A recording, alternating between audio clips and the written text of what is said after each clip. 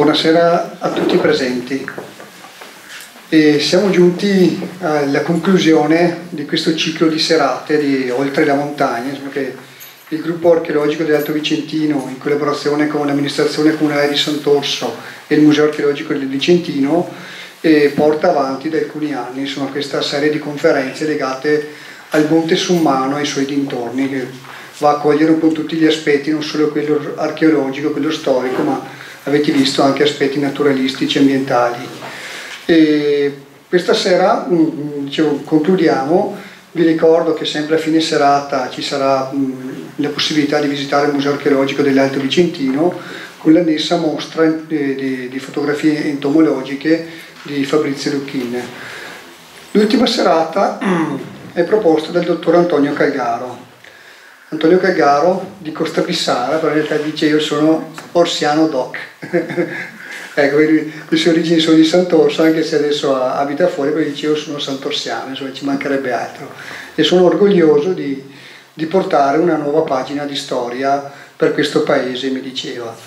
E, il dottor Antonio Calgaro è mh, appassionato di storia e archeologia, diciamo, lui da 12 anni presidente del gruppo archeologico Bissari di Costa Bissara, membro della giunta della Federazione delle Associazioni di Archeologia del Veneto e da anni insomma, lo conosco, collaboriamo, abbiamo fatto parecchi lavori insieme per cui non posso che, che parlarne bene sinceramente. E per cui insomma, lui eh, questa sera è profeta in patria, ci porterà alla luce questa storia di Sant'Orso, la stamperia e la storia, ci vuole essere un sunto, un po' di nuove notizie informazioni legate all'inizio della stampa insomma, che ha avuto origine qui a Sant'Orso.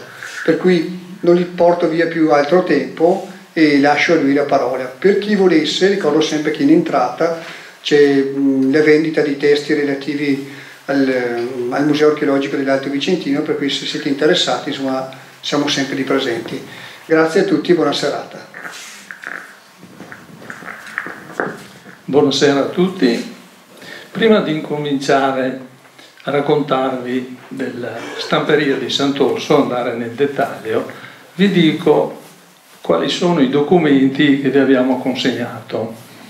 Allora c'è una copia del giornale, l'articolo che è stato fatto sul giornale di Vicenza oggi che vi serve come traccia di quello che parliamo. Poi nel fascicoletto avete tre documentazioni. La prima è l'elenco di tutti i libri che sono stati stampati da Leonardo Acates, Giovanni Del Reno, Enrico de Sant'Ursio, i tre stampatori che a noi interessano.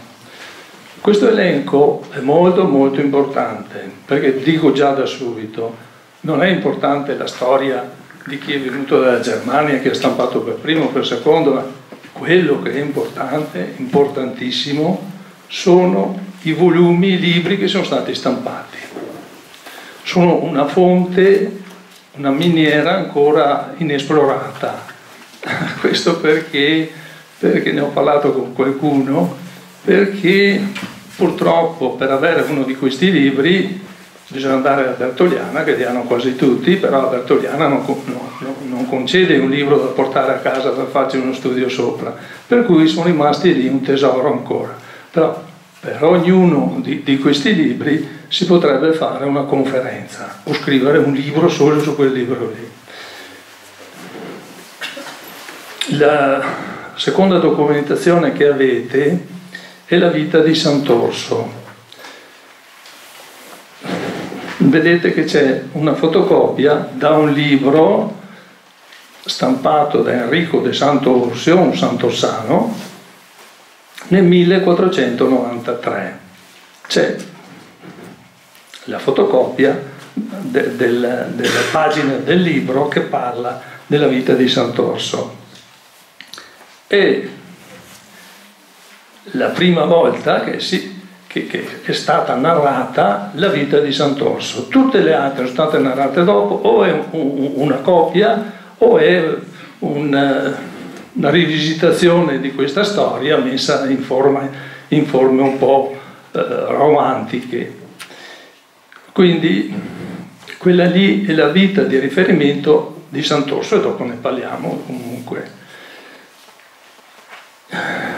La terza documentazione che abbiamo, beh, sulla vita di Sant'Orso ho fatto la traduzione, perché finora da, da quattro secoli nessuno ha mai tradotto dal latino questa vita di Sant'Orso. L'ho tradotta io, la trovate è fatta un po', come si dice, pedissequamente, cioè attenendomi a quello che è il testo latino.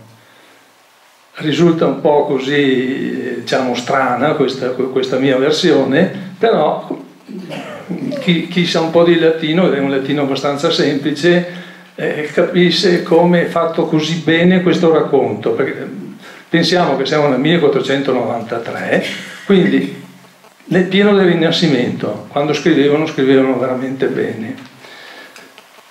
Poi abbiamo due pagine, le vedete lì, tratte di un altro volume, è stato l'ultimo stampato da, da Enrico de Sant'Ursio, le ho scelte così perché vi rendiate conto di come stampavano, poi è anche scritto in italiano di allora che è mezzo italiano, mezzo dialetto, quindi avete un'idea de, della forma della stampa, de, de, del, anche l'impaginazione di questo libro. Comunque, tanto così per, per analizzare un attimo questo, questo, queste due pagine, che poi il volume, che è questo qui, ehm, parla, eh, sommario della Luna lo intitola, un lunario, mi sembra che tempo fa dicevano ancora lunario, cioè sono le previsioni per gli anni successivi. E Enrico di Santo Ursio ci fa una previsione anche per il 2013, perché guarda in avanti. Allora, se guardate la prima, la prima pagina, verso la metà, è scritto se in dide Marti sarà calende di Genaro, cioè se il primo di gennaio scade di martedì, succede questo. Ed è il caso di quest'anno, scade di martedì, primo di gennaio. L'inverno sarà grande, cioè duro, con grande brosema e neve. La primavera e l'estate umida, l'autunno secco, e adesso partiamo. Il formento caro, la vendemmia mediocre, pecore se faranno poche. E poi riprende dopo, vediamo, eh, legumi sarà mediocremente. Cioè le previsioni economiche per, per l'anno prossimo sarà crisi piena. Perché poi è anche interessante, perché questi erano i riferimenti di quel, di quel tempo cioè i prodotti che permettevano loro di sopravvivere non erano l'automobile o altro, erano que- questi riferimenti. Quando c'erano le pecore per la lana, c'era il lino, dopo parla del lino che anche quello sarà molto caro, e naturalmente il frumento, il vino, eccetera. È importante questa indicazione per farci capire di che cosa loro vivevano allora. Bastava che avessero questo ed era sufficiente per sopravvivere. E però nel 2013, trasportato nel 2013, sarà, l'anno prossimo sarà un anno di crisi, crisi economica, il PIL, il PIL diminuisce. Eh, continuiamo, il formento caro, vendemmia mediocre, pecore se faranno poche, ecco, a piccolo, a picco andrà le navi in mare di molte. Quindi niente crociere quest'anno, non è consigliabile, a meno che non si riferisca alle barche che arrivano dall'Africa, eh, di questi extracomunitari che vanno, che, che vanno dentro nel mare. Ma è un veggente sto qua? È un veggente, sì. Eh, eh, mettiamo in discussione Enrico e Sant'Orsio.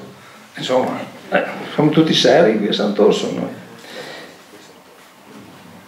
Leolino sarà a casa per vestire, ah, sarà di grandi fuochi, cioè il umano sarà soggetto a bruciare. Sarà pestilenze per molti luoghi e in Italia.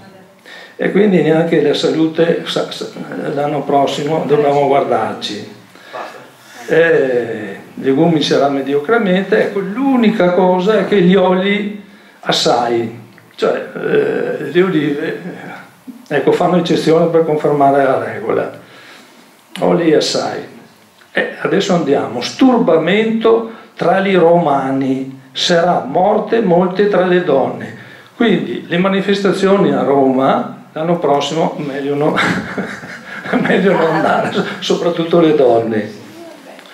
Eh, qua, qua, qua, in fondo è interessante, allora parla di re, di grandi principi, adesso non ci sono più, ci sono i politici, qui dice spirano proprio finita per i politici l'anno prossimo. Niente. Ecco, se tiriamo la pagina, eh, tanto per vedere, eh, bisogna stare attenti perché qui fa tutta un'analisi poi di tante cose.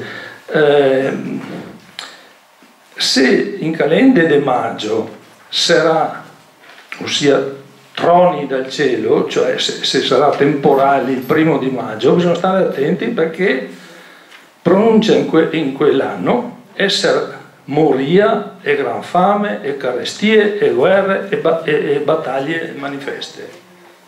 Speriamo che primo maggio sia, sia una giornata di soli. Ecco. E adesso andiamo allora a vedere, a raccontare della stamperia, della stamperia di Sant'Orso. Allora ci chiediamo subito perché è importante la stamperia di Sant'Orso. È importante perché è stata una delle primissime al mondo eh, per elencare la prima in provincia di Vicenza, la tredicesima nel Veneto, la ventunesima in Italia, la trentottesima in tutto il mondo, ma è questione di mesi o un anno o due di differenza, quindi non è una questione di chi arriva primo. Importante è che la stamperia del Sant'Orso è stata la prima che ha portato l'arte della stampa nella civiltà. Ma allora perché è importante l'arte della stampa? L'arte della stampa è stata la più grande scoperta degli ultimi duemila anni. A seguito della diffusione del libro, dell'arte della stampa, si è diffusa la scienza, si è diffuso tutto e poi sono venute tutte le altre scoperte.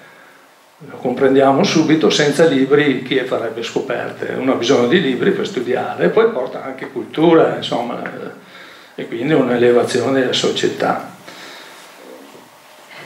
Allora è bene che parliamo per inquadrare la stamperia di Sant'Orso di questa grande scoperta che è stata fatta.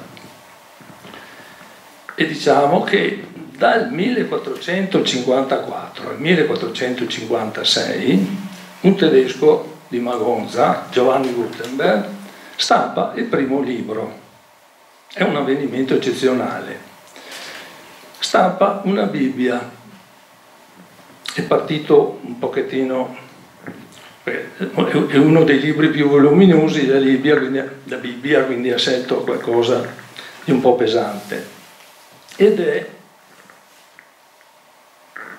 ed è il più bel libro che sia mai stato stampato. Più bello di questo non esiste, perché per, lo potete vedere, per l'impaginazione, in modo che sia leggibile, per i caratteri, per l'inchiostro che ha scelto in modo che non tiri gli occhi, per la carta fatta a mano, il più bel libro che sia mai stato stampato. Finisce di stampare il libro e ha sbagliato, ha sbagliato i conti, conti economici. Deve rimborsare un prestito che ha fatto con, con un banchiere, quale aveva intravisto che, che, era, che era una cosa interessante la stampa del libro, però eh, Giovanni Gutenberg è andato più in là di dove doveva, deve pagare la carta, deve pagare il materiale, deve pagare i collaboratori, in sostanza fallisce, mangiano anche la casa e non stampa più niente. Qualcuno dice che ha stampato ancora due libri, ma eh, noi siamo un'associazione di archeologia, se non vediamo le cose eh, quelle sono tutte supposizioni.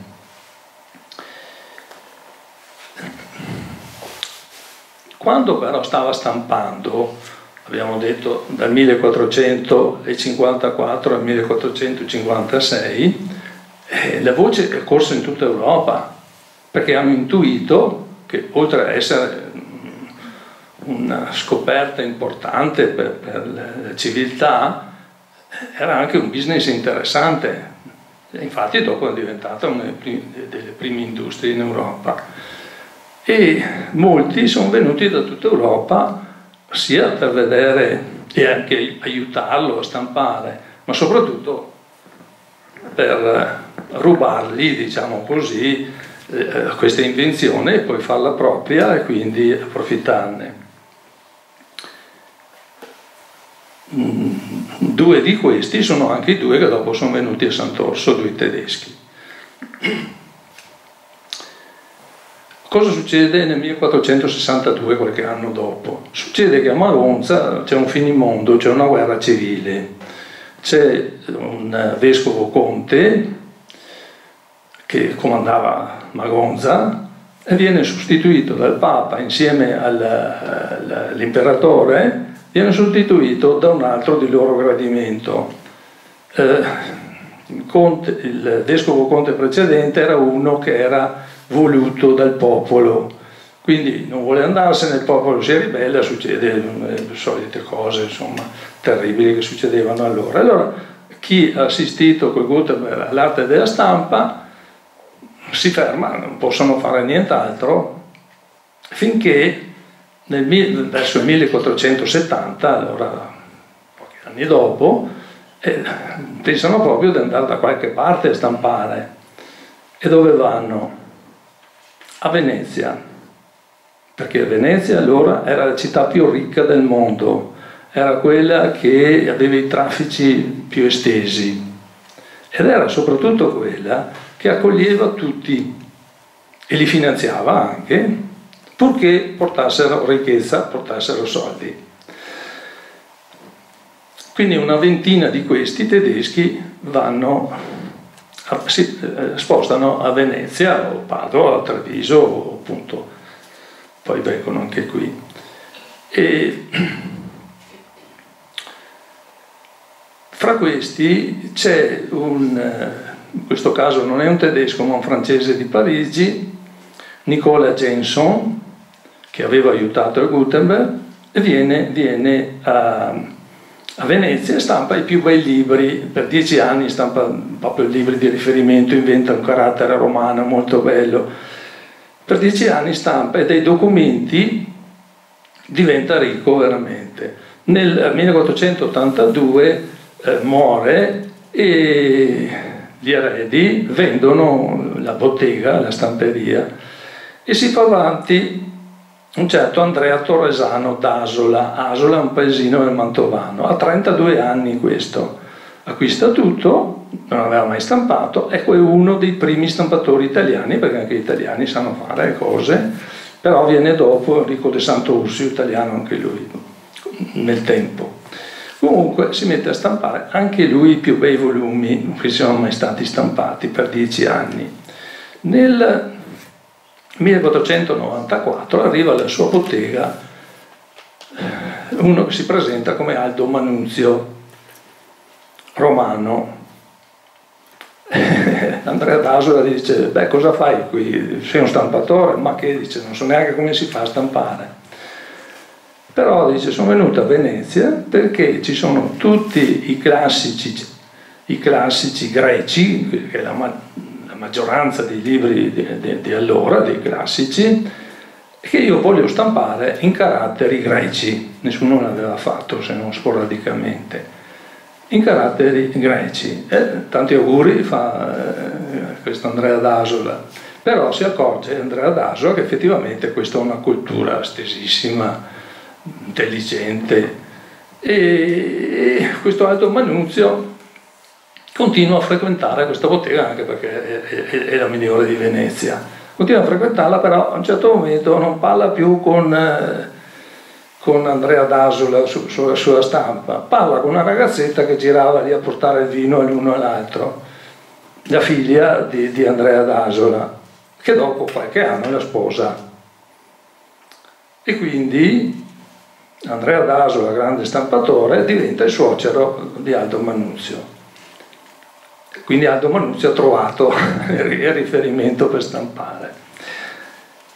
Perché Aldo Manuzio è riconosciuto come il più grande stampatore di tutti i tempi? Per rivoluzione alla stampa.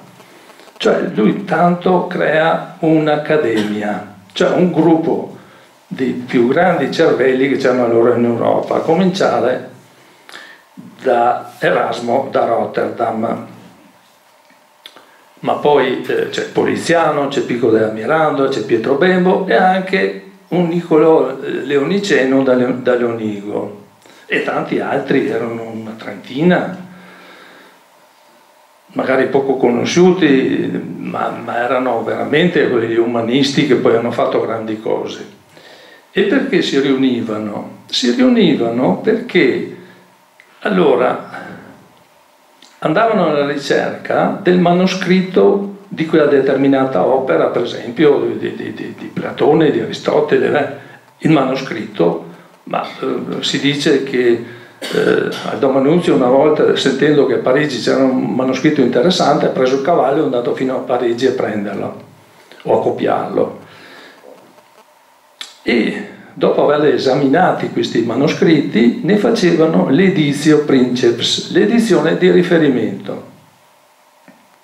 Se adesso uno vuole stampare la Divina Commedia, deve per forza copiare la Divina Commedia di Aldo Manuzio del 1502 quella è la, la, la Divina Commedia riconosciuta quella più autentica, quella che presumibilmente ha scritto proprio Dante. L'altro motivo per cui Aldo Manuzio è il più grande stampatore di tutti i tempi è che a un certo momento si è accorto che questi libri chiamati incunabili, noi li abbiamo chiamati incunabuli, quelli che sono stati stampati fino al 1500, dalle origini della stampa fino al 1500, erano comunque molto costosi, cioè erano molto meno costosi eh, dei manoscritti, però comunque costosi perché erano grossi, perché contenevano, dentro ci mettevano eh, eh, altre eh, se magari era Divina Commedia ci aggiungevano qualcos'altro che si riferiva alla Divina Commedia, eh, mettevano qualche, qualche disegno e quindi appesantivano il libro, diventava un librone costoso. Lui inventa il, il libro economico, cioè un librettino anche di dimensioni tascabili.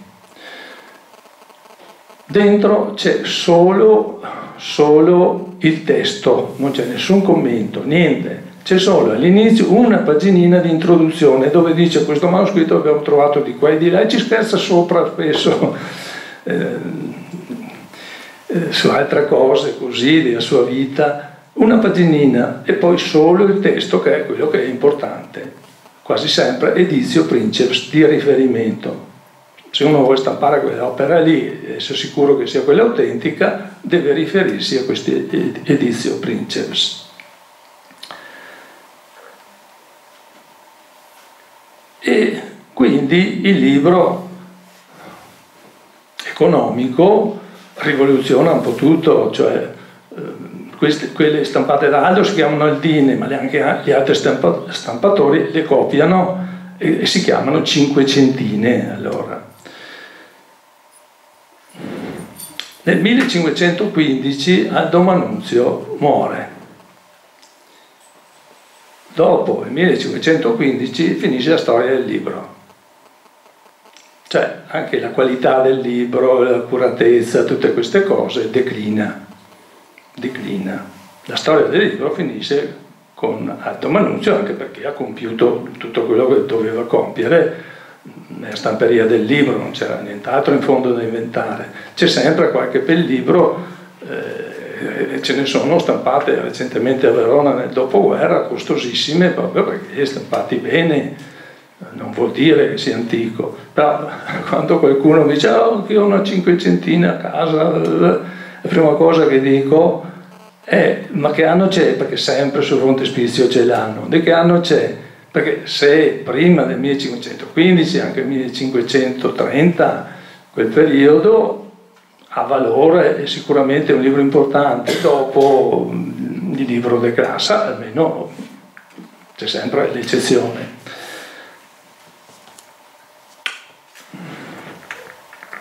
Interessante dire che Aldo Manuzio adotta questo marchio tipografico famoso, l'ancora col delfino che ci gira attorno e il, il moto Festina Lente che è un moto latino. Ma guardate che vale molto anche per chi lavora adesso. Cioè, cosa vuol dire Festina eh, Lente? Dati da fare, lavora sempre, piano però, lentamente, è un contrasto, ma non è vero. Cioè, quando fai qualcosa tu devi sempre rifletterlo altrimenti, altrimenti fai, fai pasticci. E quindi eh, eh, la sua sapienza, anche lui era un imprenditore perché aveva messo in piedi un'industria importante e però stando sul suo lavoro aveva sempre in mente festina lente, dati da fare, ma però rifletti su quello che fai, molto importante anche adesso. Bene, in questo contesto che abbiamo esaminato vediamo un po' la storia della stamperia di Sant'Orso che ci diventa più facile allora. A quei tempi a Sant'Orso c'è un tale che si chiama Enrico de Santo Ursio de Caseno. Vive qui a Sant'Orso. De Caseno già ci dice che era un ricco, perché Caseno allora voleva dire palazzo, insomma, quindi era già un ricco. Ed era un cartarius, uno che vendeva carta, che abbiamo detto era molto costosa, e contemporaneamente un librarius, perché quando vendeva della carta a chi aveva cominciato a stampare, non si faceva dare dei soldi, si faceva dare una parte dei libri stampati. E quindi doveva rivenderli diventava anche un librario. In quel periodo nel 1474 incontra, ma lo conosceva già probabilmente, un certo Leonardo Acates che aveva stampato tre libri a Padova. Uno appunto che aveva aiutato Gutenberg e lo convince a venire a Sant'Orso. Perché? Perché a Torre del Vicino c'era una cartiera, una delle più importanti d'Italia non, non si sono fatti studi approfonditi in merito, però eh, a Caltrano doveva essere un'altra cartiera, due ville di sicuro, eh, forse Arsiero, però quella, quella di, di, Torre Belvicino era famosa, quindi aveva la carta che era il costo più alto del libro, aveva la carta mm, eh, a disposizione senza doverla portare a Torre Vicino con un carro che magari pioveva, che succedeva qualcosa, c'era a disposizione forse anche un prezzo inferiore. Ma io ho fatto un accenno che poi è ripreso qui anche dalla, dal giornale di Vicenza di oggi, è una mia idea, eh, dalla mia esperienza, so io che io ero commerciante, vendevo in tutto il mondo il macchinario, è sempre molto importante conoscere la lingua se non conosci la lingua fai fatica a capirti. Enrico de Santo Ursio era quasi di sicuro un tedesco venuto da queste parti. In quel periodo lì, in quel periodo lì parliamo del 1474, i treti parlavano tutti tedesco.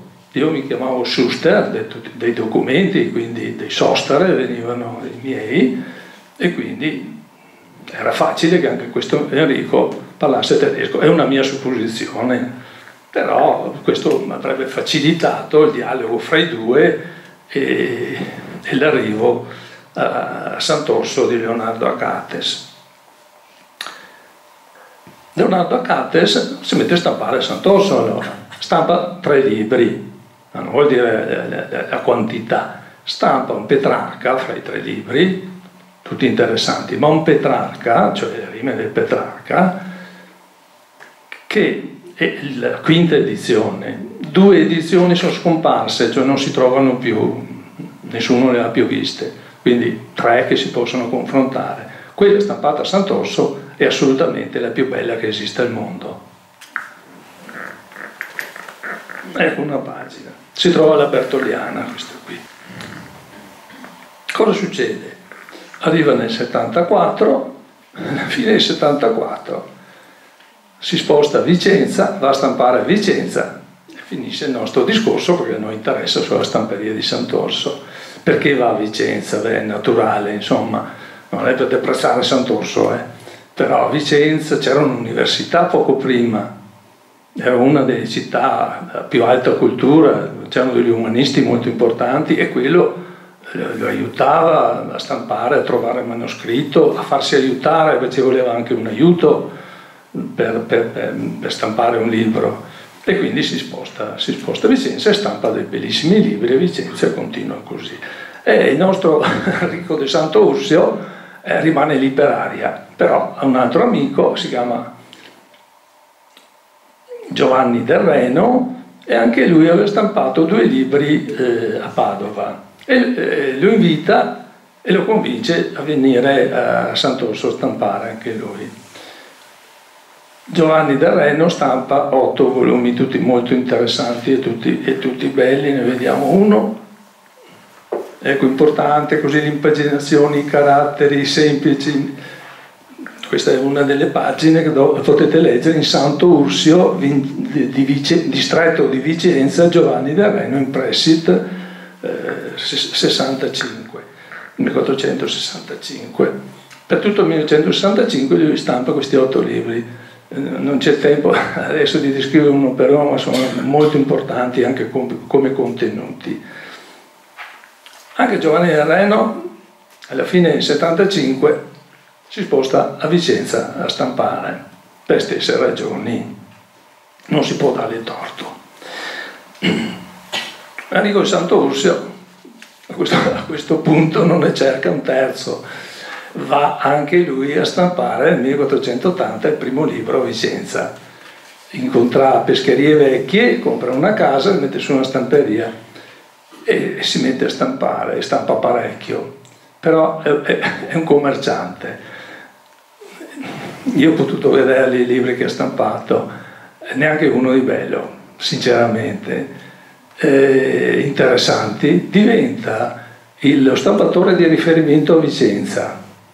Lui stampa più di tutti, ci sono gli stampatori bravissimi, eccezionali, però lui diventa il capo. Gestisce un po' la situazione perché c'è sempre bisogno di tante cose, di autorizzazioni da parte di Venezia a stampare, per proteggeva quelli che stampavano a Venezia, mentre lui riusciva a stampare nonostante, nonostante gli, gli, gli intoppi che poneva a Venezia. Quindi era uno commerciante.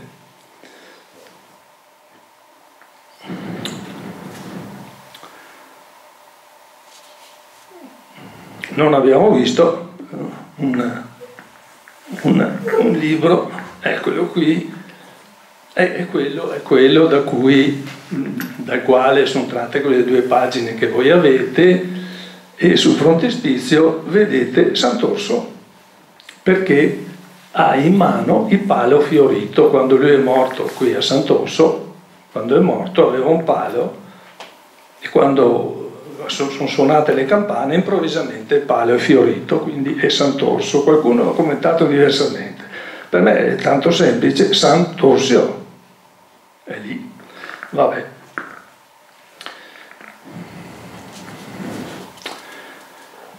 Abbiamo fatto quindi un'analisi della stamperia di, di, Sant'Orso. Mi sembra tanto semplice, è stata complicata un po' da tutti.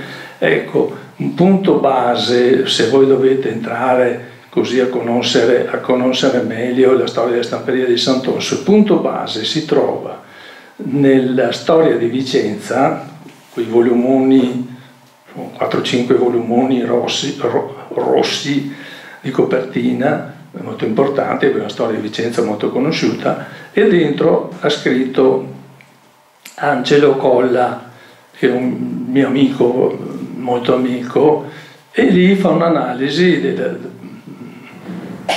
va a fare uno studio approfondito su tutto quello, fa una grande ricerca e poi fa la storia della stamperia di Sant'Orso, molto, molto, molto anche approfondita e, e molto precisa.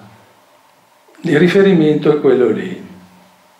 Cioè la storia di Vicenza ne è riposta negli anni Ottanta. Dopo non è stato fatto più nessun studio da nessuno. Ecco, però è abbastanza semplice.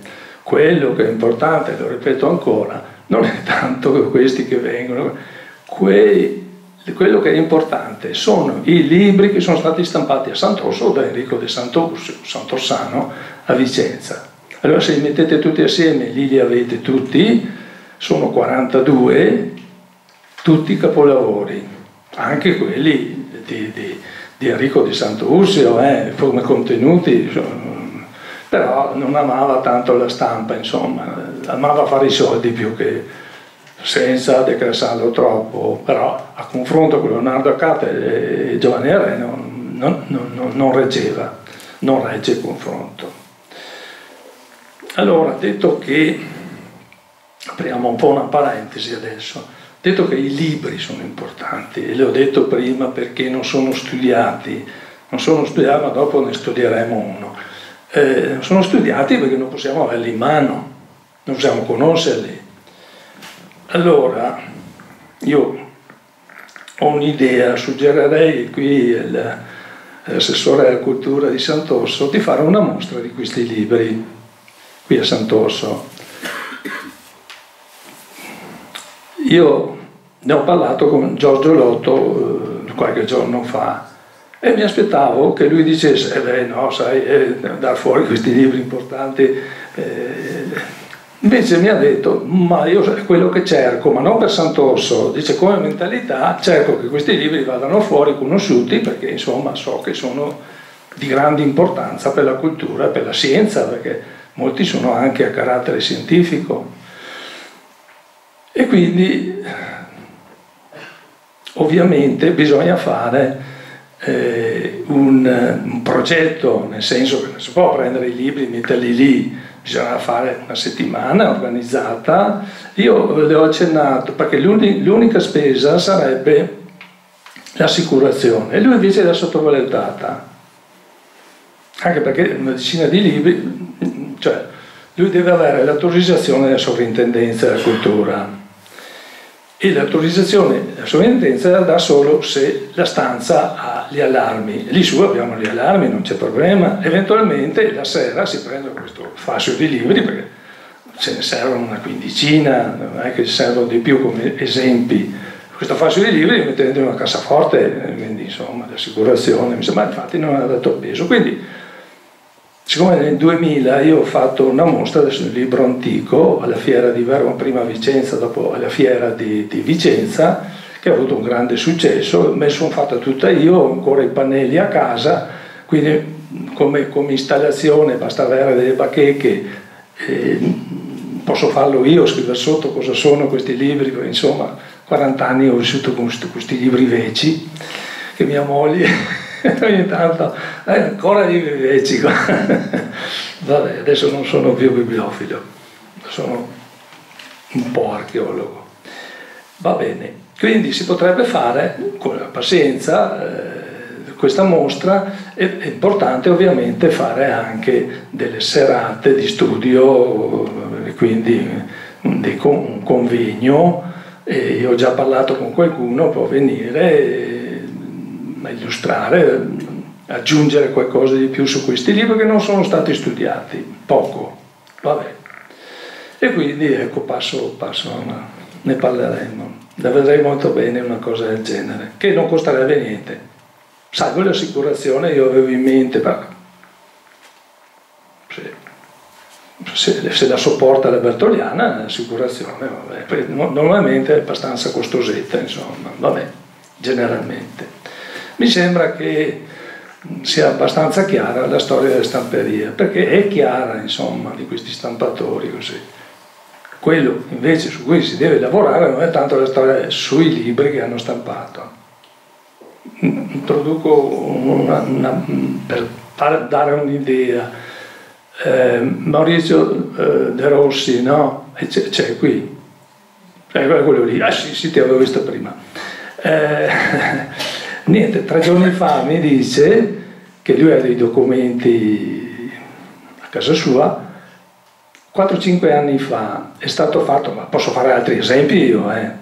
Eh, perché è fresco l'esempio, è stato fatto un convegno mondiale dei notai, un convegno mondiale dei notai, hanno parlato prevalentemente di un libro scritto, lo trovate lì, sui notai, eh, anno 1490, stampato da Enrico de Santo Ursio e tutti facevano riferimento a quel libro lì.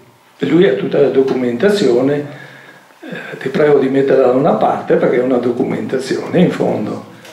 Cioè il primo, il, sono tutte edizio Princeps, anche quelle stampate da, da, da, da stamperie di Sant'Orso, cioè il primo libro stampato sui notai e ancora adesso fanno riferimento a quel libro lì nei convegni mondiali, tanto per fare un esempio che è fresco, ecco. Vabbè. Allora, detto tutto questo, andiamo, passiamo a qualcosa per andare dentro a questi, a questi libri, a questi volumi e spiegarne un po' l'importanza. Allora, parliamo della storia di Sant'Orso. Eh, qualche anno fa un libro di Zanella, no? Zanella eh, allora ha fatto l'elenco di tutte le storie di Sant'Orso come dovessimo averle tutte davanti, tutte le storie di Sant'Orso, ed erano una trentina di storie di Sant'Orso che dovevamo vedere. E allora parliamo della, della storia di Sant'Orso, perché Enrico de Santo Ursio, allora, a Vicenza, nel 1493 trova un manoscritto molto molto importante.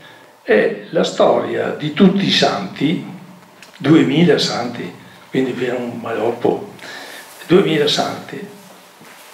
Un manoscritto scritto da Pietro di Natale come calciatore, che era vescovo di Esolo. L'aveva scritto cento anni prima. Lui trova questo maloppo e dice questo è molto interessante perché eh, dopo che l'ha stampata lui, per esempio, ci sono state una ventina di, di, edizioni, soprattutto in Germania, hanno affamate di storie di, santi, che poi è molto importante, nessuno l'ha analizzato perché si, si, trova dentro della storia autentica, parlava della storia dei santi, però ci sono tutti i riferimenti. E quindi, poi anche molto importante perché alla fine del Cinquecento eh, il Vaticano ha cominciato a fare i martirologi, cioè i libri in cui ci sono tutti i santi, mettendoli ognuno per, per ogni giorno dell'anno e facendo tutta questa storia dei santi. Il libro di riferimento è questo di Natale stampato da Enrico de Santo Russio, è scritto dappertutto. Quindi un libro molto importante. Porta a casa questo malopo e vede che insomma non è così facile stampare un libro, eh? bisogna pagina, da un manoscritto pagina per pagina, interpretarlo, vedere, correggere eh, e non sei assente. Allora chiama ad aiutarlo un certo Antonio Verla, della famiglia di Verlato, che, di, di Villa Verla, che aveva terreni in, in tutto l'Alto Vicentino, ricco, umanista, che va a aiutarlo. Infatti dopo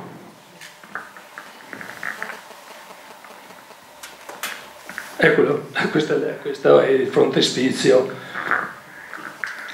E qui sotto Antonio Verla fa, fa un distico, dice, eh, in decasillabi è scritto lì, cioè una poesia per illustrare il libro e poi dentro ci fa, Antonio Verla fa un'introduzione di due o tre pagine molto lunga per spiegare dove l'hanno trovato questo libro, queste storie.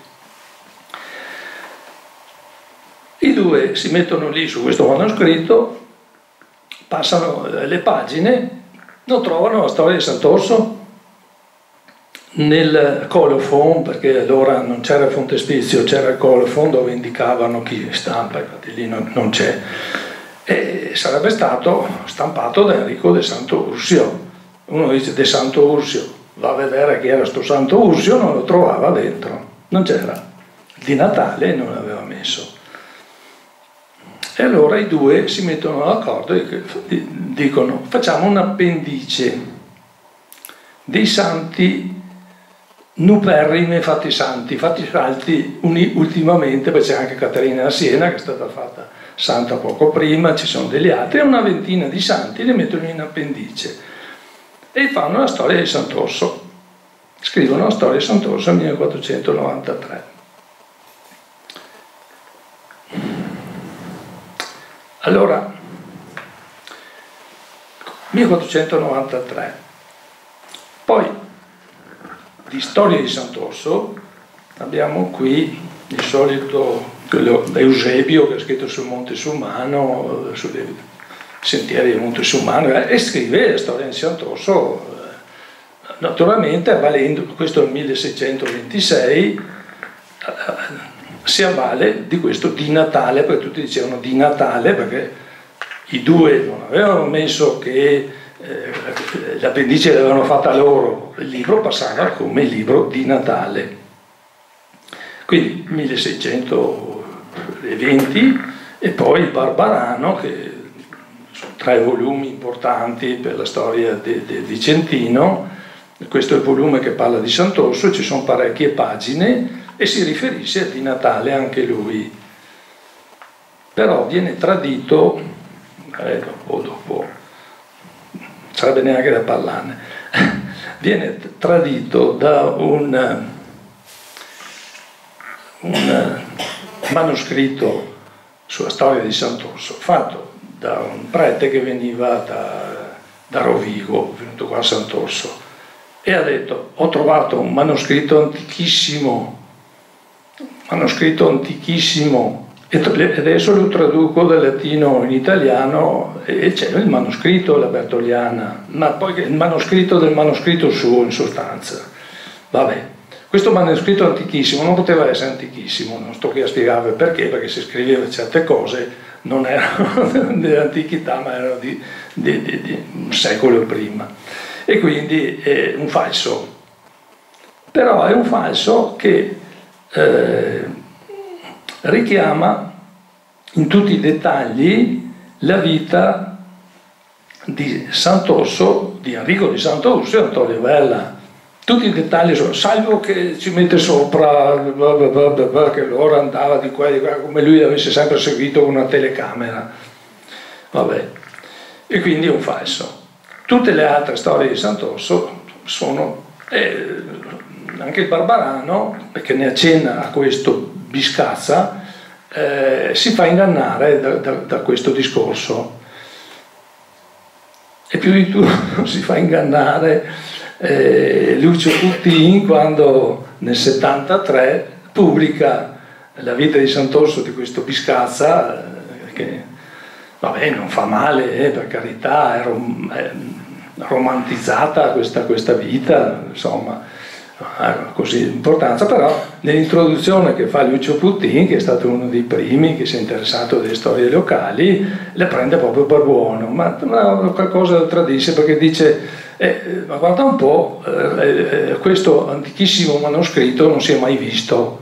Qui a Sant'Orso una volta si diceva, e me lo va mangiare il maschio, siccome il maialino mangiava tutto, e quindi anche questo manoscritto è sparito e quindi insomma sarebbe il caso di, di, di venire un po' a noi. L'ultimo libro stampato da, su Sant'Orso, l'ultimo libro, è dell'anno 2012 di quest'anno. Oh, no, per carità che qualcuno non pensi che io sono contrario, insomma come, come, gruppo archeologico ci teniamo alle cose, eh, mi ricordo benissimo che anche Michele molto spesso quando io le accennavo, ma c'è un manoscritto così, c'è un, eh, un atto notarile, ti ricordi? Mi ha sempre detto che è un falso, perché le inventavano questi, li inventavano perché per esempio avevano bisogno di avere un atto che documentava che era padrone di quel terreno e quindi lo inventavano in precedenza. Quindi. Su questo no, no, niente, bravi che divulgano questa storia e poi è sempre quella, salvo che questo qui è un manoscritto, faccio un po' ridere adesso, è un manoscritto che si trova a Bertoliana, è riportato anche delle, delle, dei fogli, eh, scritto nel 1900, anno 1900, perché Sant'Orso è morto nell'800, maggio dell'800, e quindi era l'anniversario, e questo scrive un manoscritto. Però fa una variante, cioè, sono sempre le stesse vite di Sant'Orso, fa una variante perché nella storia di Sant'Orso quella allora di Enrico di Sant'Ursio, quella originaria, è scritto che eh, quando Ursio era a caccia, era arrivato suo papà eh, nel castello e lui non ne sapeva niente, torna dalla caccia, va dentro, eh, nel, va dentro eh, nel castello e trova che sua moglie e suo papà che non l'aveva riconosciuto russavano perché dormivano, era stanco del viaggio, russavano sul letto. A questo che ha scritto cento anni fa questa storia non andava genio che i due fossero a letto. Quando leggiamo qui è scritto che i due si trovavano in una stanza appartata e si abbracciavano e si baciavano. Io non so cos'era più scandaloso, cos'era più scandaloso dei due, però sono sempre correzioni che deturpano un po' la verità, noi archeologi, è vero? Vabbè, finiamola con la storia di Sant'Orso, per carità, eh, ripeto ancora, è sempre bello, anche se è romanzata questa storia, no, no, non fa male, però noi archeologi che andiamo alla ricerca della verità andiamo alla fonte. dobbiamo comunque fare un appunto a Enrico di Sant'Orsio che ha scritto la storia di Sant'Orso. Adesso Michele mi aiuta. Allora, ci sono due anacronismi, voi ce l'avete lì, la documentazione, leggetela. Allora, c'è un, primo anacronismo, c'è scritto che quando il Papa gli impone di andare a cercare il Monte Sumano, lui parte per 12 anni, non so se, se no, no, non deve essere su quel manoscritto, deve essere scritto su altre parti. Per 12 anni gira il mondo, va a Gerusalemme, invece di andare a nord a cercare il Monte Sumano, e va a Santiago di Compostela. Questo nell'Ottocento. Io adesso a giugno il quinto viaggio che faccio a Compostela. La tomba di San Giacomo in Compostela, è già eh, una tradizione, è stata scoperta nel 914. Quindi cosa andava a fare a Compostela? Era un campus stelle, Compostela, un campo di stelle, non c'era niente di tombe di San Giacomo e lui invece ci va, che, che vuol dire un anacronismo, c'è qualcosa, vabbè insomma. Eh, l'altra questione invece è che quando Orso, allora che diventa santo, arriva qua sul Monte Sumano, va verso il Monte Sumano, dovrebbe arrivare a Santa Maria Sumano, è scritto nel racconto, eh, anche quello è dubbio che ci fosse su nell'Ottocento un, un monastero. Vabbè. E però, insomma, quando arriva sotto il Monte Sumano, qui vicino, eh, incontra una serva, è scritto e c'ha un nome anche questa serva, che viene giù dal castello e viene giù due volte, gli chiede l'acqua e lei non le dà l'acqua. Ma da quale castello nell'Ottocento?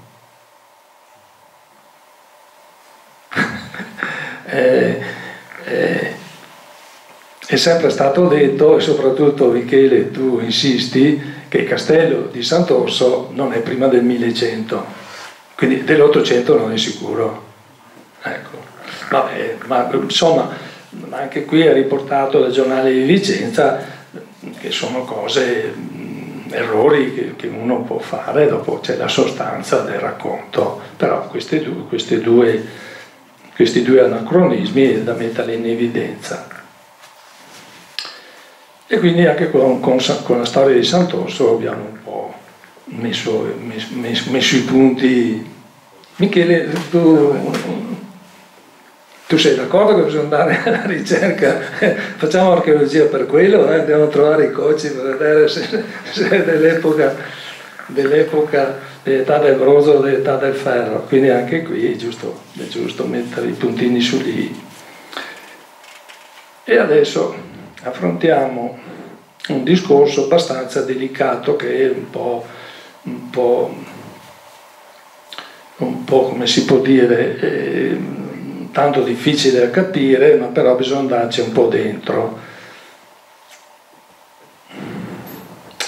Cioè di un qualche cosa che c'è sempre in questa storia di Sant'Orso, in quel libro del 1493, per cui io l'anno scorso accidentalmente, non è cosa del mio sacco, farina del mio sacco, incontro il professore dell'Università di Torino di storia moderna. E quando sente Sant'Orso mi va, ah, Sant'Orso quel paesino sotto eh, Monte Sumano, sì, ah, ne parliamo noi all'Università di Torino di Sant'Orso, porca miseria, cosa ha combinato sto Sant'Orso? E allora mi racconta quello che adesso vi vado a raccontare, che lui mi ha raccontato. È qualcosa di delicato e di molto interessante dal mio punto di vista. Eh, tanto per stare preciso, cerco di, di, punteggiare un po' tutto quello che si riferisce a questa storia. Allora, quando eh, il nobile Ursio, compiuto il delitto, è preoccupato della salvezza dell'anima, a quei tempi veramente eh, andare in paradiso, andare in inferno non era la stessa cosa, adesso per noi sì, ma per loro era la salvezza, Sant'Agostino tutta la vita eh, trattato della salvezza dell'uomo. Va dal Papa e come è scritto nel racconto ci va è scritto, per avere la penitenza dovuta, e c'è scritto due volte penitenza. Ah, ah, voi, voi, ricordate che invece a quei tempi c'era l'indulgenza plenaria, bastava a, Ursio andare con un sacchetto di monetine, le metteva davanti al Papa e il Papa che ha la, la, la chiave del paradiso diceva ti do l'indulgenza plenaria, va al paradiso, se ne tornava col suo cavallo in Dalmazia, è finito lì, invece lo fa girare, gli fa penitenza. E fa girare alla ricerca del Monte Sumano per 12 anni, è scritto da qualche parte. Quindi è un cambiamento, cioè dalla misericordia divina che attraverso il Papa ti fa andare in paradiso per un'indulgenza, no, No, devi guadagnartelo il paradiso. Cosa succede 25 anni dopo? C'è un, c'è un errore qua sul giornale Vicenza, non importa di date. Vabbè, 25 anni dopo, il 1493, eh, quando è stata scritta la storia di Sant'Orso dei due nostri amici, c'è un certo Martin Lutero, eccolo qui, e c'è scritto lì qualcosa di fianco, che scrive le famose 95 tesi. Queste tesi cominciano proprio con la parola penitenza, cioè il paradiso uno se lo deve guadagnare. Per guadagnarti il paradiso, dice Martin Lutero, devi darti da fare nella vita e aver successo. Quindi, cosa vuol dire aver successo? O diventare un potente o diventare ricco. Poi si spinge ancora più in là, e lo sapete anche voi, e dice che le persone si dividono in due classi, anche tutti noi. Una predestinata, qui viene la predestinazione, lui era un agostiniano. Una classe è predestinata dall'eternità perché Dio sa tutto. Ovviamente dall'eternità sa eh, cosa succede a noi se andiamo in paradiso, quindi siamo predestinati, ma è superficialità dopo, altri l'hanno, l'hanno sconfessato.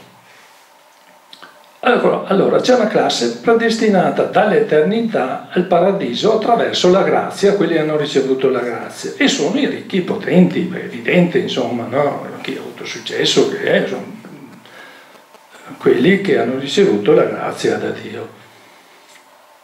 Invece tutti gli altri che sono i poveri, lo si vede, vuol dire che Dio non li ha, non, non ne ha beneficiati della grazia. E quindi non tutti probabilmente, ma quasi tutti sono destinati all'inferno. Naturalmente, come sapete, questa riforma crea in tutta Europa un pandemonio. Erasmo da Rotterdam, che abbiamo accennato prima, era il, l'intellettuale di, di, riferimento allora in Europa, non ci sta a questa faccenda. Non era poi un, un religioso, ma relio fine, e ha discussioni fortissime contro eh, Martin Lutero, che in fondo in fondo era un genio. E scrive Erasmo da Rotterdam parecchi libri finché si stanca anche, insomma. E lui ribadisse, come la Chiesa precedentemente, per andare in paradiso, e dopo la finisse, dopo averle dette chiare, occorre aver fede in Dio, aver fede in Dio, sentirlo proprio. Dopo che uno dialoga con Dio, capisce che Dio è essenzialmente buono, non può non essere buono, poi sarebbe il diavolo se fosse cattivo, no? È buono. E quindi sicuramente userà misericordia e ti porterà in, eh, ti porterà in, in, in paradiso. E quindi c'è sempre questa speranza quando uno ha fede in Dio, c'è la speranza. C'è la speranza che Dio allora usi misericordia. Una volta si diceva sempre Dio misericordioso, Dio misericordioso, adesso non si dice più. Vabbè, essendo Lui misericordioso con te, anche tu devi essere misericordioso con il tuo prossimo. Quindi fede, speranza e carità. La fede, speranza e carità. Con questo, dice Anna Rotterdam, si va in paradiso, non con, con, con, con altre storie contorte sulla predestinazione ma vorrei raggiungere così la nostra cultura. Oltre a Erasmo da Rotterdam c'è un altro che parla chiaro su questa faccenda, che è il Vangelo, concretamente Gesù Cristo. E beh, come sapete tutti, anche lui divide gli uomini in due classi, i ricchi e i poveri, però ribalta il concetto di Martin Lutero e dice beati i poveri perché di loro è il regno dei cieli. Le beatitudini è proprio il mattone principale del Vangelo. Ma dall'altra parte dice più facile un cammello passi per la corona di un ago che un ricco vada in paradiso. Quindi esplicito proprio. Poi, ma vabbè, è pieno il Vangelo di questo. Voi sapete che i governanti delle nazioni dominano su di esse e le opprimono quindi anche i governanti eh, che vadano, andavano a genio a Gesù Cristo. E poi c'è la parabola del ricco e bulone che bisogna leggere, insomma, è veramente... Eh, eh, in, in buona sostanza, nel Vangelo Gesù parla di un solo peccato, perché gli altri li perdona tutti. Essere ricchi, ma addirittura un peccato essere ricco, il ricco Pulone non aveva fatto niente di male, poverino, faceva solo le feste e però il povero Lazzaro gli dava le briciole, lo faceva eh, niente, Lazzaro è andato in paradiso e lui all'inferno proprio neanche una goccia d'acqua le ha dato Lazzaro, eh, perché eh, ha chiesto intingi il dito su un, eh, su un po' di acqua e, e mettermi sulla bocca. No, che l'aveva mantenuto a briciole, adesso non voglio scherzo sopra un po'. Quindi il, il, il, il tema eh, penso che sia molto importante. Eh? E allora diciamo quali sono le conseguenze di questo nuovo modo di pensare del, di quel periodo, Martino Lutero, ma prima di lui i nostri due amici abbiamo detto prima, no? che ha detto penitenza, penitenza, Sant'Orso, no? il Santo Orso che era andato lì. Quali sono le conseguenze? Allora ancora prendo un libro, questa volta non un vecchio libro, libro scritto da un Sant'Orsano 15 anni fa, eh, Giorgio Bille, penso che sia presente, va bene, importa. Ed è un bel libro scritto bene, uno dei pochi libri scritto bene. E lui fa un, una situazione della ehm, società, delle famiglie di eh, Sant'Orso nel 500, nel primo 500, siamo sempre in quel periodo, avvalendosi dei registri del, eh, della parrocchia, perché registravano tutto. Ne fa un riassunto perché scrivevano per ogni famiglia di cosa vivevano. Allora c'è scritto qui, lui fa un riassunto, ho parlato recentemente con lui, lui, lui mi ha detto è quello che ho trovato, quello che ho trovato, ed è quello che ha trovato. Per ogni famiglia c'era scritto quello che facevano. Allora, il 90% delle famiglie di Sant'Orso erano contadini a mezzadria, vale a dire lavoravano metà anno per loro, quando raccoglievano il raccolto, l'altra metà del raccolto lo davano al padrone. De, de. L'altro 10%, scrive lui, ma c'erano anche i mendicanti, lui si dimentica, ma mi ha detto che non era scritto i mendicanti nei libri, di... no, ne scrivevano, eh.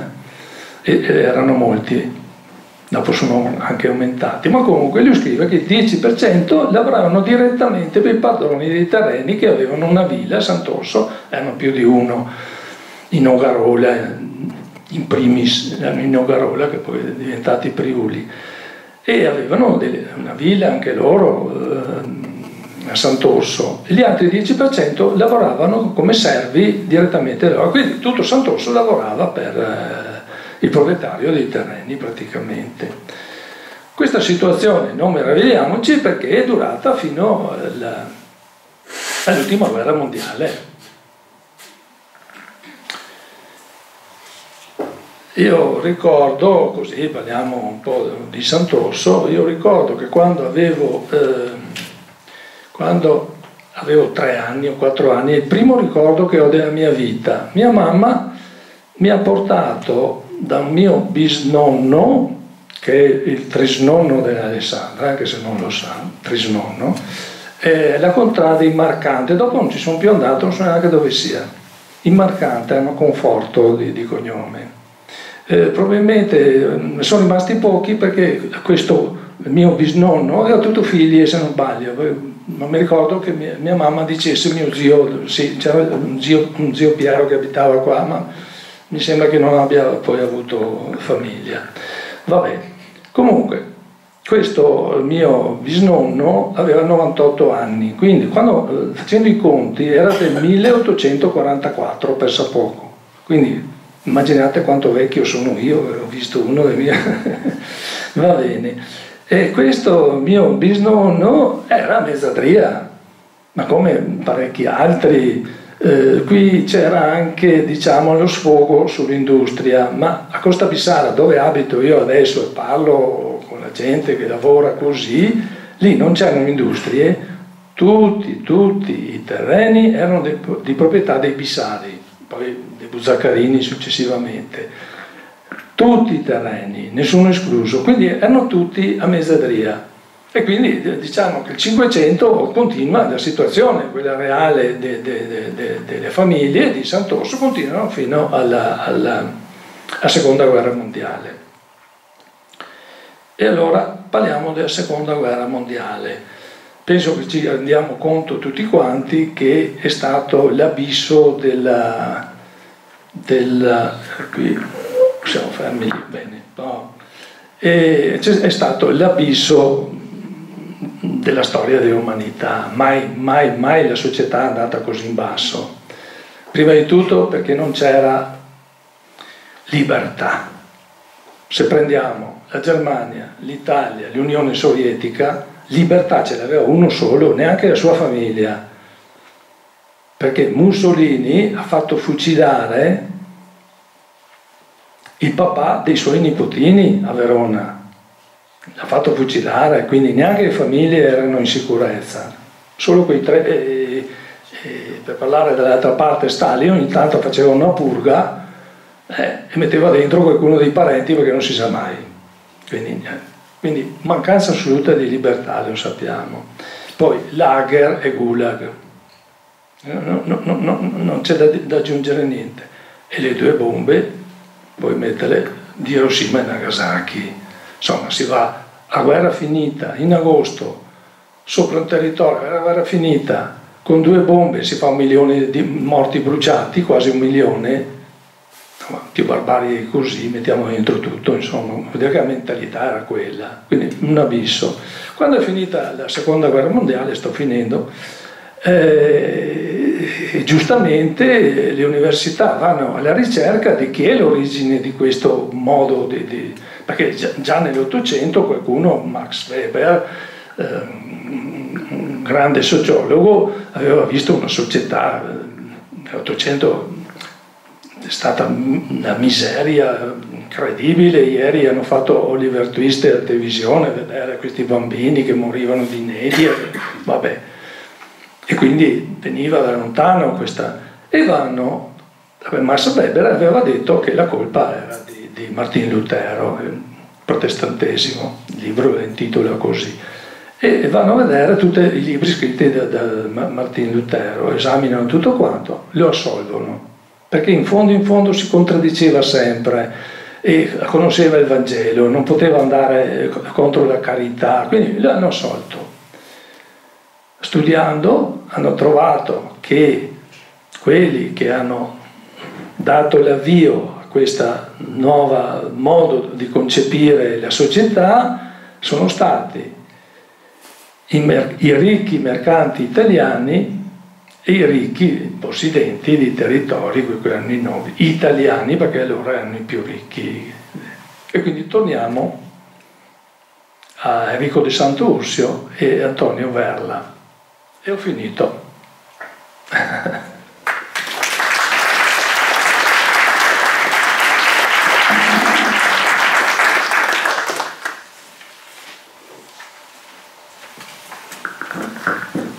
Bene, se ci sono domande da, da, da proporre ad Antonio, insomma, siamo qua disponibili.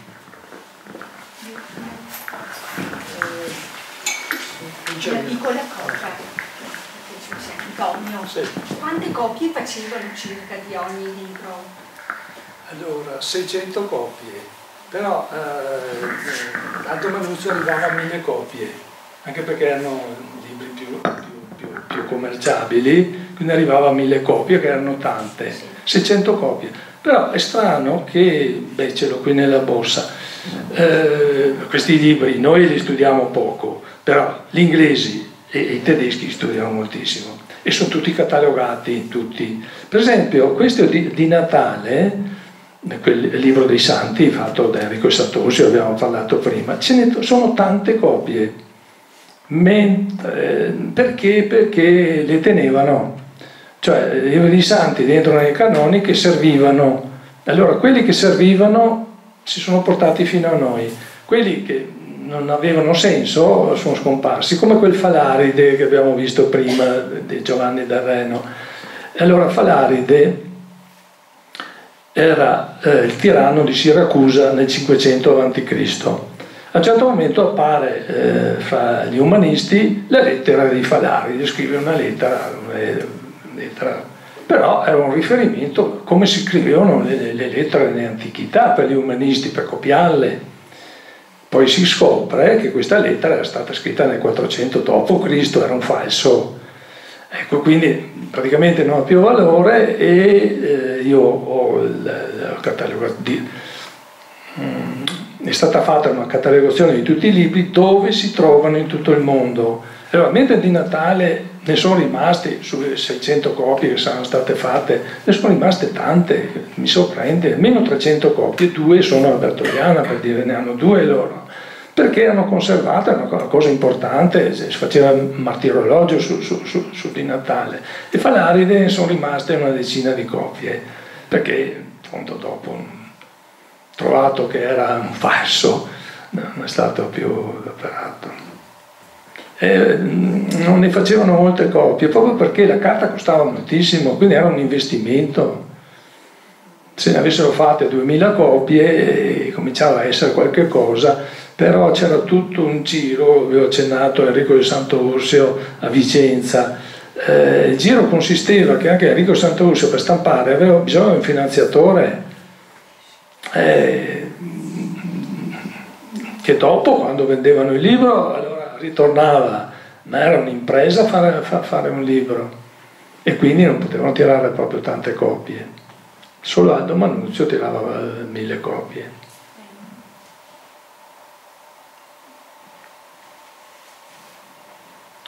Eh, mi è rimasto un librettino qui. Posso fare una domanda? Sì.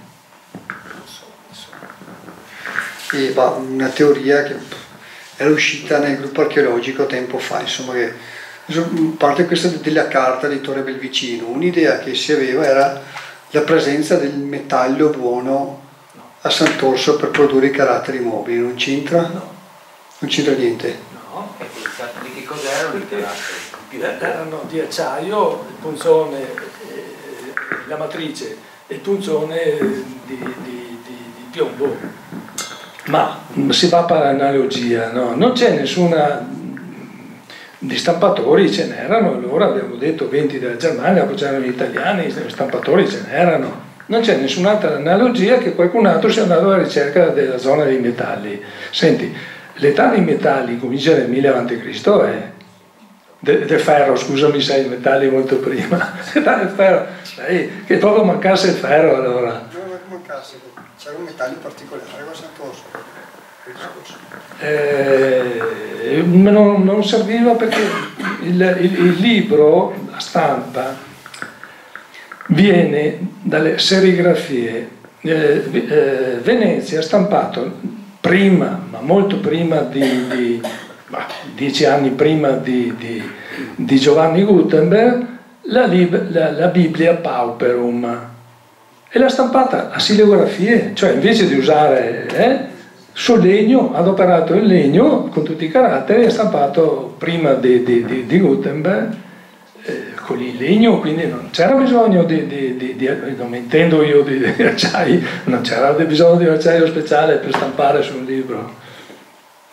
Ma però, per carità, eh, ma poi mi sembra che è che ci fossero proprio delle acciaierie qua in zona, insomma, si estraeva il metallo e poi cioè, non c'è analogia con, con, con, con qualcos'altro.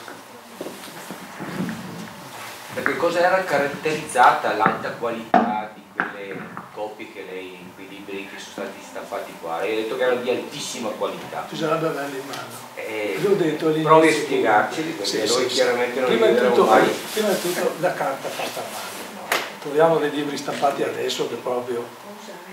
Oh, sì, pardon, pardon, pardon.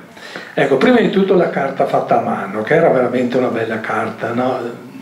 Eh, c'è, c'è, carta e carta. Eh. Parliamo, carta di uh, uh, proprio la carta primitiva, la carta è stata inventata in, eh, in, Cina, ma arriva qui attraverso la Spagna nel 1300, insomma, da poco, ed è fatta proprio artisticamente, quindi la carta. Poi, più di tutto, i caratteri perché ogni stampatore aveva i suoi caratteri, doveva inciderli. Quasi tutti i stampatori erano eh, quelli che lavoravano l'orafi, erano tutti orafi, cioè abituati eh, a lavorare l'oro e quindi i caratteri, la P, la S, eh, dovevano ognuno inventarsela. Infatti quelli lì di Giovanni del Reno che abbiamo visto mi sembrano caratteri simpatici, sono proprio distinti, leggibili, i caratteri erano importanti. Quindi del Genso veramente lui è andato indietro ai romani e stampava i caratteri tondi romani molto belli. Quindi il carattere era... Erano incisori? Erano? Incisori? Incisori, sì, orafi, incidevano. Ecco.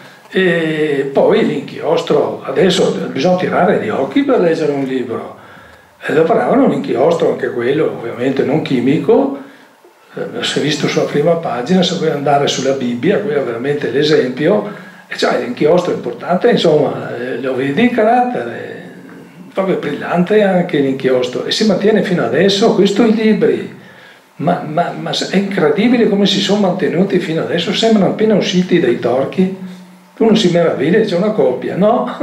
Perché la carta, eh, quella era fatta di, di cose naturali, quindi eh, l'inchiostro ugualmente, e poi l'impaginazione era, era simpatica, cioè avevano adesso un libro, prendevano qualsiasi, insomma sfruttano tutto, tutto, tutto, tutta la pagina, invece loro lasciavano molto spazio nella pagina per farsi gli appunti, perché gli umanisti eh, prendevano un libro che era abbastanza raro e mettevano le, le, loro, le loro osservazioni sopra. E allora i libri quelli di allora, quei 42, bisognerebbe prendere per mano perché sicuramente quasi tutti hanno delle osservazioni, delle note di umanisti di allora da interpretare e non umanisti da poco. Potrebbe essere, non so, Machiavelli che, che, che ha fatto la nota, potrebbe essere nel caso nostro il Palladio, anche lui leggeva, si faceva delle note, quindi importante il libro in quel senso. Questa decorazione è no no quella è, è aggiunta? Sempre. Cioè la decorazione la decorazione veniva fatta lasciavano spazio per la decorazione cioè non eh, se, se, c'era un anno non la mettevano neanche perché doveva essere decorato dopo. Però questa eh, illuminazione dicono eh, veniva fatta solo su incunaboli Dopo con Aldo Manuzio, insomma, ma è una cosa in più. Eh, però, però è un momento, è, vediamola questa di Gutenberg, è una meraviglia come incorniciata, ma guardate i caratteri, li vedo anch'io adesso un po' vicino così, ma guardate che bellezza, la chiamavano textura, come una tessitura. È, è bello l'occhio, eh, guardate. E poi vedo che ogni inizio di, eh, veramente fatto bene, ogni inizio di frase eh, eh c'era, eh, eh, la lettera era dipinta in rosso. È una pagina stupenda questa qui. Mm, più bello di, di questo libro di Gutenberg non è stato fatto più niente. Ce ne sono 5 o 6 esemplari in tutto il mondo. Fino a poco tempo fa ne vendevano delle pagine. Passi che qualcuno si è divertito a vendere a pagina invece che il libro intero guadagnava di più e succedeva perché basterebbe avere una pagina così per avere un capolavoro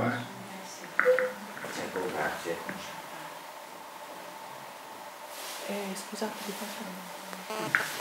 sì, io ho trovato interessante la proposta tua di eh, sì, una mostra eh. con i libri stampati a Sant'Orso. Sì volevo ricordare che nel 1974 74, la ricorrenza dell'anno sì. dei 500 anni sì. della stamperia a Sant'Orso mm-hmm. eh, l'amministrazione comunale fra le altre cose aveva messo una lapide nella casa di Filippi che sarebbe la casa dove, dove, dove c'era questa antica stamperia Almeno in quell'occasione è stata anche istituita la biblioteca di Sant'Orso parte del 1974 no e sempre in quell'occasione è stata allestita una mostra di un paio di incunaboli. Un paio? Sì. E se non sbaglio, no, sono sicuro che erano del conte di Schio. Ah sì? Erano di sua appartenenza. Eh. Credo che uno fosse, se non ricordo male, i trionfi del, del Petrarca, cioè quello del 1474. No? Che lo si diceva che c'era una copia biblioteca bertoniana. E una ce l'aveva lui. Una alla Marciana, mi, mi dicevano, sì. una l'aveva il Conte da Schio e credo che un'altra fosse, non so se è la biblioteca di Bologna o di Trieste. Ecco, quindi credo che sarebbe giusto riprendere questo discorso delle idee. Una ce l'aveva un, eh, un antiquario di Torino e io l'ho preso in mano, sono stato lì, mi ricordo, aveva 12 milioni di lire. E poi sono tornato dopo, beh a quei tempi era tanto, ma non era proprio, sì no era tanto, infatti non l'ho comprata. Sono tornato dopo un po' di mesi e l'aveva venduta a un, un appassionato tedesco. Se mi ricordo che, scusami sai, eh, questo quando presentavo così, eh, mi ha letto primi, le, le, le, la prima poesia e veniva quasi da piangere con questo libro, dice, ma guarda che bellezza. si diceva che il ponte si era prestata per due giorni perché allora non c'erano sistemi di allarme, no? nel 74, ah, ah. Eh, solo due giorni dopo la, la caduta. Eh beh sì, eh sì. Ma volevo dire una cosa, cioè su internet è in vendita un di Natale, che poi è anche un mio amico di Bologna, e, eh, 4 milioni, 5 mila euro scusate. Per me vale molto molto di più, però può essere, può essere sia stata già venduta. Uno sforzo della biblioteca, ma si trovano in giro eh, questi libri, non è che sia proprio... Per me, cioè questi, eh, a meno che non manchi qualche pagina, perché allora vale molto molto meno, magari non lo dice questo, lo dice all'ultimo momento. Per me, eh, siccome non c'è un mercato proprio così che ti possa dire quanto vale, per me i 5 mila euro sono veramente pochissimo, perché potrebbe essere anche 40.000, a volte proprio c'è chi la mette 40.000, chi la mette 5.000, vuole realizzare, si trova in brutte, in brutte acque, non so se è ancora disponibile, sarà, ma l'ho vista proprio in occasione che mi sono visto certe cose su, su internet, se si va, basta andare su internet di Natale, Pietro di Natale, eh, Vite dei Santi appare in internet. E è solo così per dire un po' in fondo, in fondo insomma non sono valori inaccessibili.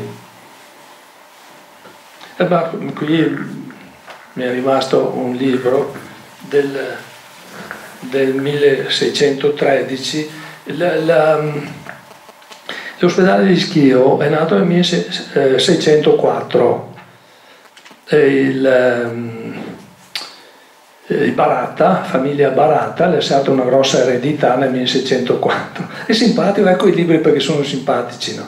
Perché lui ha lasciato l'eredità, ecco, ecco, no, perché eh, l'eredità dei te- terreni che aveva. E questi miei bisnonni marcanti qui erano a Mesadria sull'ospedale di, di, di Schio. Fra l'altro l'ospedale di Schio era fatto, scritto qui, solo per quelli di Schio, di Sant'Orso e di Magre, non so perché gli altri no. E sì, è interessante anche qui, perché per esempio, ecco perché sono interessanti questi libri, eh, per esempio l'ospedale di Schio dava la dote a cinque ragazze povere, però qui ci sono tutte, tutte le, le garanzie perché dice queste ragazze non devono essere pre, parenti di politici o parenti di chi decide chi deve avere, perché anche loro si facevano. ecco, è scritto così. E poi l'ho presa anche perché qui, scusate, scusate, cioè, vediamo se, se lo trovo, ecco qui.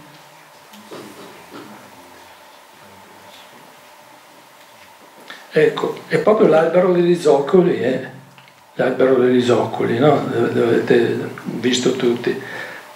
Sia espressamente proibito, eh, questa, è lo statuto de, de, dell'ospedale, ai conduttori, cioè ai mesadri, ogni sorte di taglio delle piante, di qualunque sorte delle possessioni e beni, così vive come morte, cioè se cadeva una pianta non potevano utilizzarla e bruciarla, perché altrimenti c'era il trucco, facevano morire la pianta e dopo la utilizzavano. Quindi non potevano utilizzare nessuna pianta, eh. proprio come l'albero degli zoccoli. Né possino se non bruscare, bruscare, semplicemente niente altro. Era proprio... Vabbè.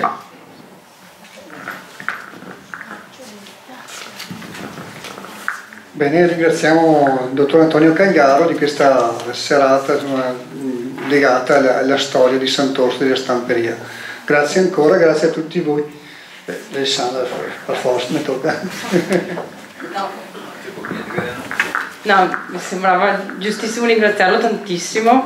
Devo dire che finché lei parlava, il prima roba che mi veniva in mente se che sarebbe giusto e opportuno fare questa mostra, perché quando lei poi ha detto ci ha suggerito questa cosa, stavo già pensando a Giorgio Rotto che comunque fa parte della Commissione Cultura e quindi sarà subitamente eh, preso in questa... E volevo ringraziarla anche tantissimo, intanto perché doppiamente per, per un po' per l'esempio, no? nel senso che un orsiano che magari va via però il Sant'Orso che resta nel cuore e, e per Sant'Orso sotto sotto di nascosto che ha fatto, sta, ha fatto tanto, perché questo per noi può essere anche un, un inizio di un percorso che potremo fare per il nostro paese soprattutto.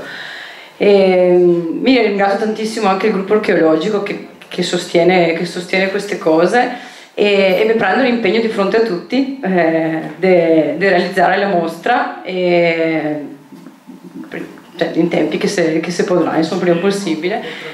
E poi, lo so, il libro sarebbe meraviglioso poterlo acquistare, adesso uno.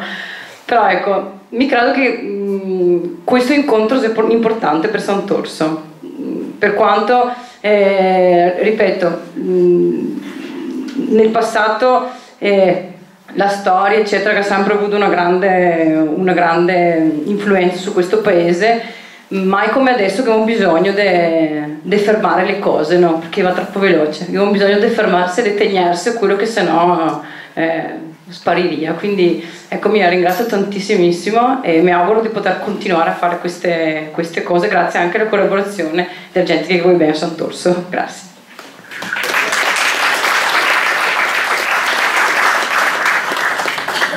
So che tu sei un po'... Un'altra cosa uh, voglio dire che... A chi? Non so se è mia nonna era un marcante. Sì. Quindi dire. Ma non te l'avevo detto. Eh, sì, era no, tu, no, era tuo trisnonno e volevo parlare di lui. Diceva che il, mm. insomma, eh.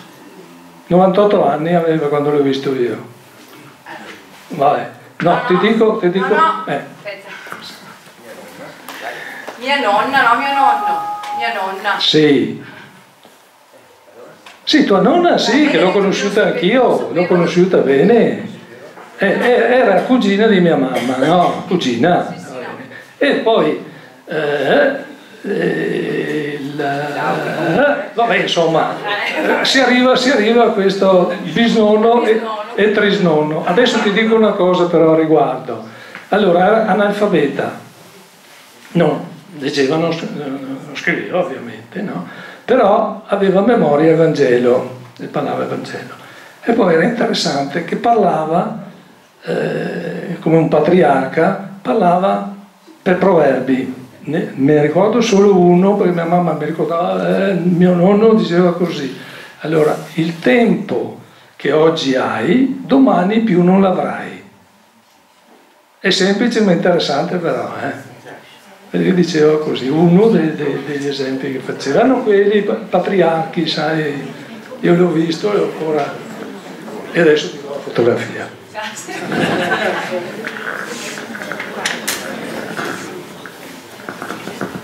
E mm, per chi desidera, adesso andiamo ad aprire il museo archeologico, insomma, mm, ed eventualmente visitabile si può visitare anche la mostra eh, di fotografie entomologiche di insetti del summano.